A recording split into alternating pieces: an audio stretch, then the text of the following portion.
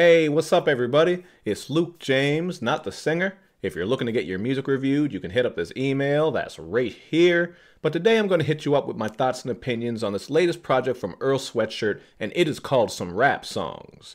Now, Earl Sweatshirt is a rapper coming out of Los Angeles who made a lot of noise coming up in Odd Future, and even as a solo artist, he made even more noise with his projects Doris and I Don't Like Shit, I Don't Go Outside.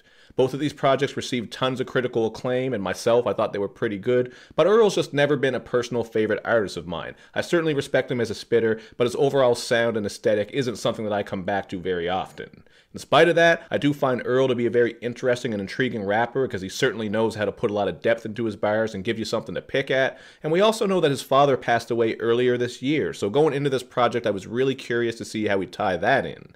As you listen through, you'll definitely pick up on that because the overall sound here is very messy, jumbly, sad, and depressing. And I do think this is going to be the type of project that people are very split in. You're getting that lo fi sound where the mixing and mastering just sound awful, to be honest with you. It's made that way on purpose, so if you don't like that aesthetic, right away you're going to be turned off. And even some of the beats get a bit abstract and experimental to go along with his flow that can be a little bit abstract and even off kilter at times. As you listen through this, you're definitely going to have to pick apart at what he's saying, and I think the sound here could make that hard for some people to really get into. I can understand people loving this because of how unique it is and because of the depth, but I could also understand people just turning it off after a couple of songs and being like, fuck this, I don't want anything to do with it. So I'm just saying that it's kind of jarring in spots. It's not overly accessible. That doesn't mean it's bad, it just means it's going to be a divisive project. So if there is one thing I like about it, I already brought it up. It's that Earl has nice bars all over it, and I really do feel the emotion and the ideas that he's putting out there. I especially like on Azucar when he says, My cushion was a bosom on bad days. There's not a black woman I can't thank. I think that line is beautiful in its simplicity because it just shows you the respect and appreciation he has for black women who have been there for him. And he has another line on this track when he says, Living life like a nigga put a price on my head. This ties in with the overall sadness and depression in here because even though it feels like that bleak outlook is always there and looming, he's still trying to live life to the fullest. Just like someone who knows that there's someone after them trying to kill them. You got to be on point, got to be careful, you know what's going on, but you still got to live your life and try to make the best of it. So he is barring the fuck out of you on here. Can't take that away from him, but again, it's the overall sound that uh, is really going to throw people off. For example, the single Nowhere to Go, I really didn't like this beat at all. I thought it was very jumbly and messy, and even in headphones, it just felt like there was too much shit going on. Some people like that. Myself, I don't fuck with it. But he still has nice bars on here. Like when he says, I think I spent most of my life depressed. Only thing on my mind was death didn't know if my time was next. He really is going to be able to connect with people who are going through these same things, I think. If you're in a very gloomy, sad sort of state, I could understand you wanting to put this on and just vibe with it, kind of listen to it, because it's very clear that Earl's working through this pain and suffering through his music. But some of the sounds here, like I said, I just can't fuck with. So Nowhere to Go was easily a least favorite. When I heard that single, I immediately thought, oh man,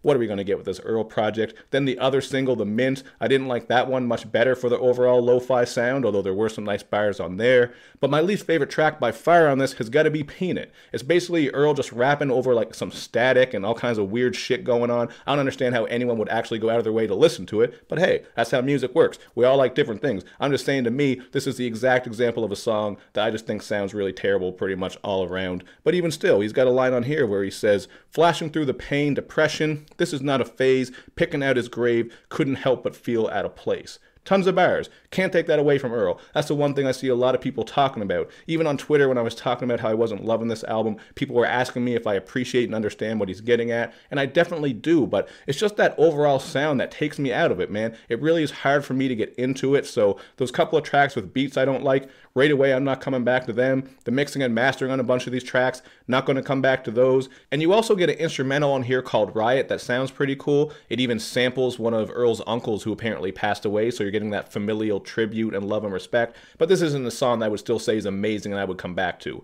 Cool instrumental. Then you get the song called Playing Possum, where it's just a bunch of vocal clips from Earl's mother and father. Beautiful moment. I understand how it ties into the album, but these are just a bunch of songs on a very short project that I'm not going to listen to or go out of my way to come back to. You know what I mean? Add to the fact that a lot of these songs are only a minute or two long, and to me, it just kind of feels like a sloppy, jumbled mixtape. And I understand the intent. That's the thing a lot of people are saying is that it's intentionally like this. So I understand and I can appreciate that. But even if you love this project, I think you could understand why people wouldn't. You know what I mean? Like I said, it's very divisive. You can understand how this sound and style isn't for everybody, and that's the main thing that took me out of it. However, I will say another thing I kind of liked here are some of the productions. You're getting some very gritty and grimy sample based shit that's good on songs like The Bends, Azucar, Eclipse, and Veins. So there are things here that I appreciate. But as far as just the music of it, sonically, me wanting to listen to it, I do not fuck with this at all. So for me, this was a really hard one to rate because I don't think it's trash at all. I can understand what's happening and I get why people like it, but I also don't think it's great. So I don't want to give it a good rating either. So I am going to go with a 2.5 out of 5. It's certainly not average as far as uh, the ideas and the sound. Like that's all very experimental, but that's just kind of how I feel about it. Like there's a little bit I like, most of the shit I don't like. I don't want to give it a 2. That's what I'd give to it if I thought it was all out trash. Certainly don't think that because I see the value, but I can't lie here because I can only give you my opinion. I don't want to say this is like a high score if I don't really like the actual music. So, hey, it is what it is. I hope this does spawn some interesting conversation because I know a lot of people love it. I ain't trying to put you down or put this album down if you love it. It is what it is. But let's discuss it in the comments section. Let me know what you think. And of course, man, make sure you do all that good YouTube and social media stuff where you show me love and you show me lots of it. Thank you for watching, everybody. I will see you next time.